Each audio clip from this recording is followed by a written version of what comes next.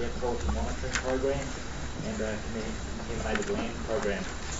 Um, Amanda Banks is our policy advisor for policy and transport. Is that right? Yes.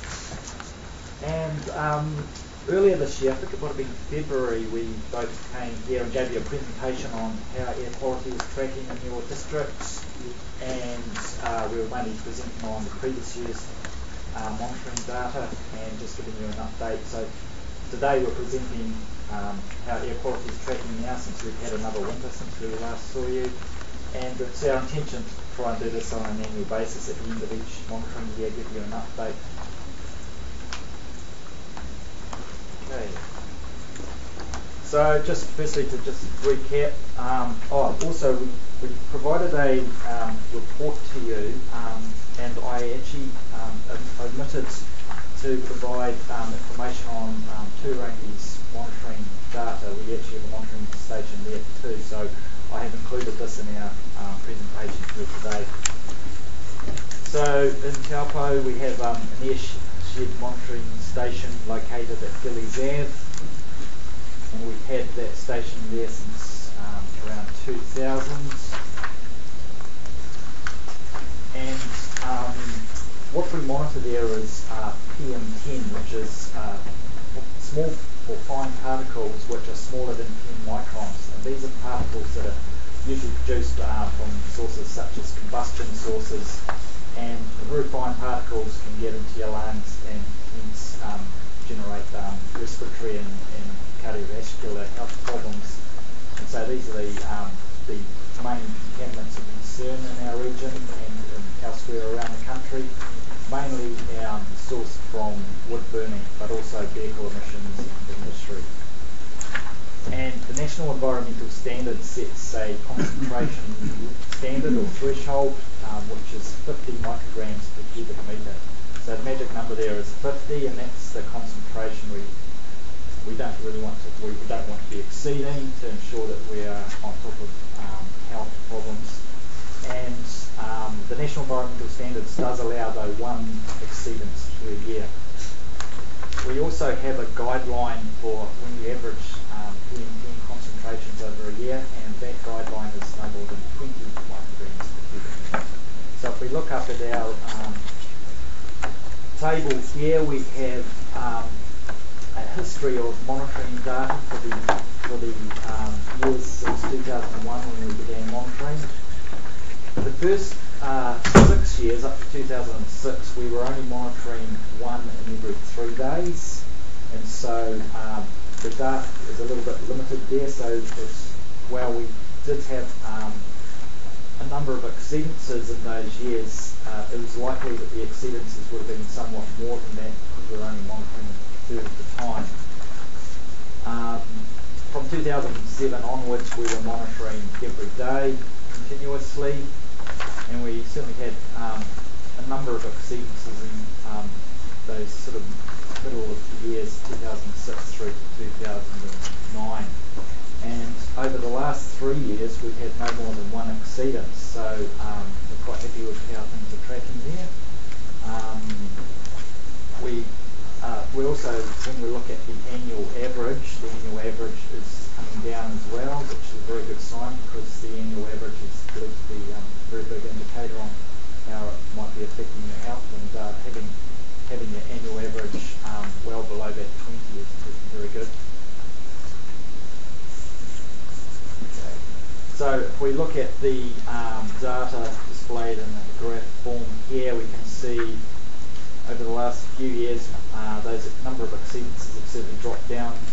First uh, years over up to 2006, I've just highlighted that that was monitoring one day and three, so we would have likely have had more exceedances over that period. And when we've um, done some statistical analysis of the trends, um, it's indicating that we are definitely getting an improved trend when we look at the winter averages and compare the winter averages for each year there's an improving trend and it's starting to look stronger, especially after this year we've just had.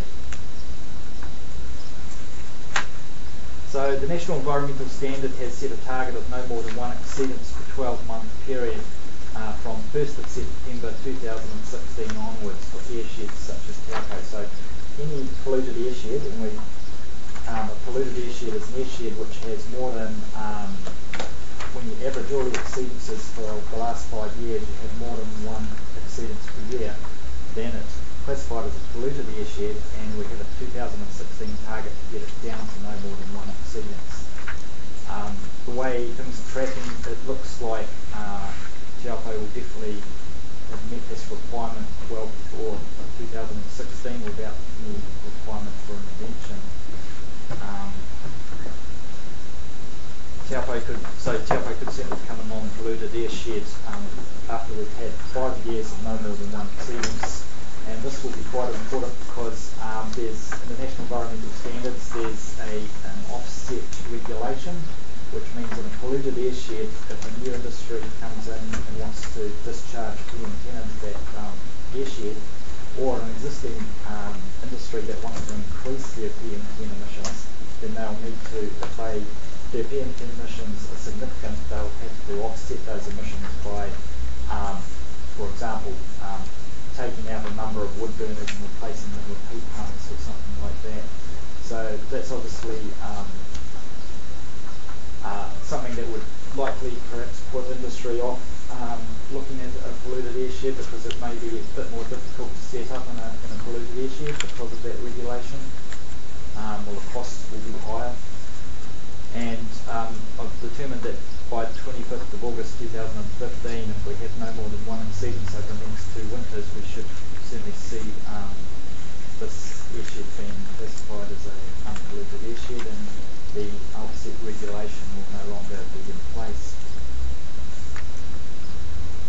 Uh, just to give you a brief update on Turangi's uh, monitoring data, we have a um, monitoring station um, located at Rohunga Road and uh, when we look at the monitoring data here, uh, we're not even getting anywhere close to exceedances. Um, we've been monitoring since uh, 2009 um, the way things are tracking at the moment, we're looking at probably keeping that monitoring station in there for another year and then taking it out and moving it on to some of the other airsheds around our region that are, haven't been monitored. So we're looking at doing a three-year monitoring program. If We don't see any problems, we'll move on the monitoring equipment to another airshed so that we get around all of our 20 airsheds in our region.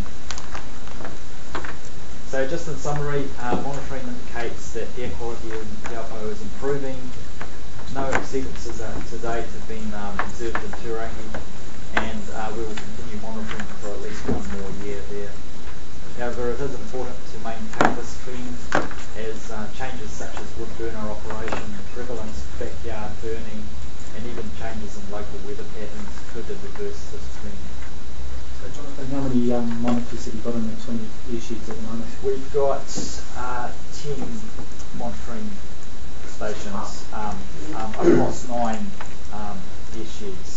Um, in Hamilton, we've set up a, um, we've got two now running there, one on both sides of the, uh, one on the east side and one on the west side of the river. So how many out of those 20 have been monitored? Is it the other 10? Uh, so, yeah, the other 10, so we're starting to, um, Cambridge and Te Awamutu are going to be um, monitored over this, um, from next year onwards.